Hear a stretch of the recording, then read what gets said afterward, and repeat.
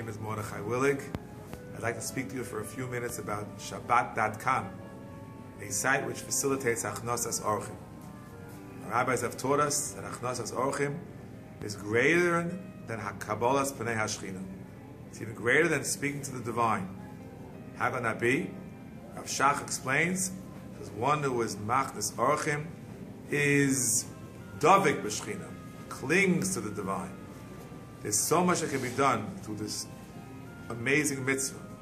You can raise the spirits of individuals who have no place to go, whether they are out of a job, whether they have problems in their family, perhaps they're divorced or widowed, perhaps Balei Tshuva, who don't have a family to go to.